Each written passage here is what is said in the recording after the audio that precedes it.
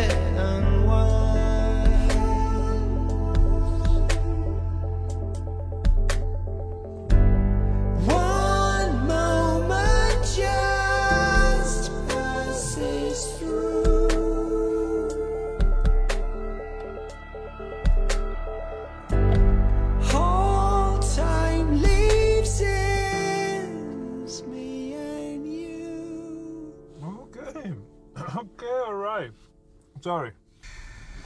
Alright, first of all, uh, three songs into the album, and I have the impression that Steven is uh, refusing to hire a drummer. Steven, what's the matter with drums?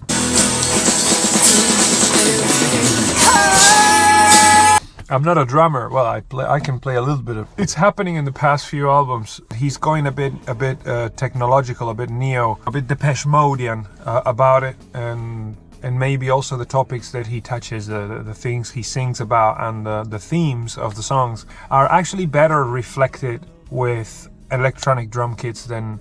It takes a bit of rock out of it, um, a little bit of rock. Not saying that Depeche Mode, for example, Depeche Mode, even with electronic beats, to me sounds like rock. Doesn't have to be all, all guitars. Like I've always said, Apocalyptica with cellos was more metal than some bands that didn't even play up to the genre.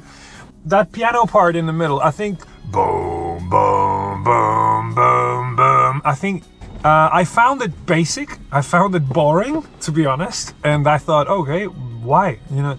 But again, it hits me back to the point where, uh, as I said earlier, maybe the song and the theme of the song and that interlude is supposed to to sound simple. No, I'm a music guy. I don't pay attention to the lyrics at first. Like no mystery about the parts. Boom, boom, boom. By the third note, you already know he's gonna go that, and he does, which he could. He might not actually do and make it a bit uh, unpredictable, you know, like he always likes to do. But the intro and the outro of the song, those harmonies, that singing, and that theme, I really liked it. A bit short of a song to every song that I'm listening to is sounding a bit like an intro. Like an intro to what? I'm still like I'm I'm I'm I'm waiting for something to break out. Does that make sense? All the songs I've heard so far feel like intros to another song. Let's go. Let's go into the next one, and uh, we're gonna do the whole album, I think, and see you uh, on the next one. Thank you so much for watching. Bye bye.